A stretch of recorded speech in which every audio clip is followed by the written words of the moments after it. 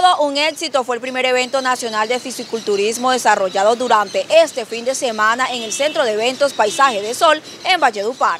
En toda una fiesta deportiva resultó la realización del primer Open Nacional Cacique Expo de Físico-Culturismo, desarrollado el fin de semana anterior en el Centro de Eventos Paisaje del Sol de Valledupar, una muestra del arte muscular combinada con fuerza, potencia y resistencia enmarcó el desarrollo del certamen, en el que participaron representantes de Antioquia, Magdalena, Cundinamarca, Bolívar, La Guajira y El Cesar.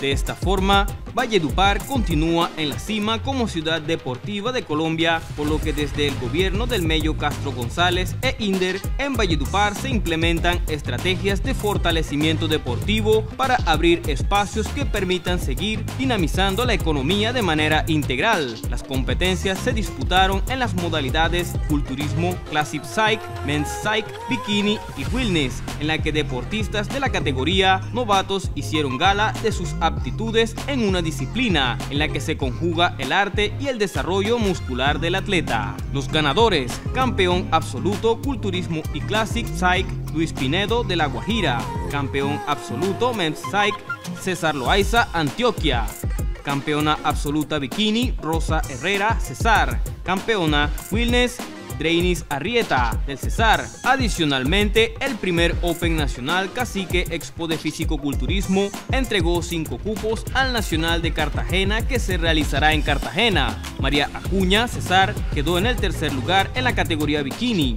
John Cuesta La Loma del Cesar, segundo en la categoría. Carlos Borrego, también del Cesar, campeón culturismo y segundo en el absoluto. Eduardo de la Hoz del Cesar, campeón en su categoría y segundo en absoluto. Y Ariel Álvarez de Ciénaga Magdalena. Ricardo Rojas Osorio, especialista en moda masculina y femenina diseñada y confeccionada de manera exclusiva. Agenda tu cita en el celular 318-401-0676.